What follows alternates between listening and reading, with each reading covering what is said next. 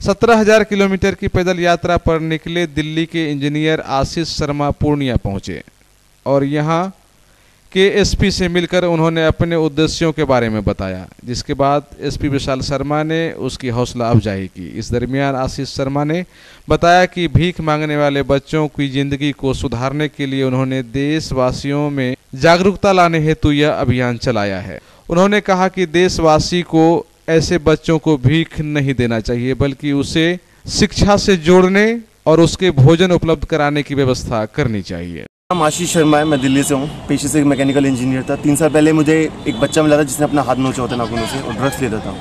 नौ साल की उम्र थी। उस बच्चे को मैंने रिहेबिलिट किया था और साढ़े तीन महीने लगे थे। उसके बाद मैंने जॉब करते करते आठ बच्चों को रिहेबिलिट किया था। टोटल नौ बच्चों को रिहेबिलिट करने के बाद मुझे लगा शायद मैं मर जाऊँगा बट ऐसे मुद्दा खत्म नहीं होगा तो इसके बाद ये तीन लेयर्स में हमने पूरा मूवमेंट को डिवाइड किया था। एक मोबाइल ऐप बनाई जो आने वाले वक्त में भारत का सबसे बड़ा अवेयरनेस सिस्टम होगा। दूसरा, मैं सत्रह हज़ार किलोमीटर पैदल चल रहा हूँ, जो मैंने जम्मू उधमपुर से चलना शुरू किया था। और अभी तक जम्मू, हिमाचल, पंजाब, हरियाणा, राजस्थान, गुजरात, दमन दीव सिलवासा महाराष्ट्र, गोवा, मध्य प्रदेश, उत्तराखंड, यूपी, बिहार। बिहार में ग्यारहवा जिला है और लगभग सात हज़ार तीन सौ बावन किलोमीटर पैदल चल चुका हूँ। तो लोगों से यही रिक्वेस्ट कर रहा हूँ, विनती कर रहे हैं कि हम लोग की अपनी तरफ़ से समाज बच्चों को भीख देना छोड़ दे, क्योंकि समाज बच्चों को भीख देता है तो बच्चा स्कूल नहीं जाता। तो इसके प्रति पहली ज़िम्मेदारी समाज की बनती कि समाज अपनी तरफ़ से भीख देना छोड़े। अब खाना किसी को खिला दीजिए, बट पैसा किसी को मत दीजिए।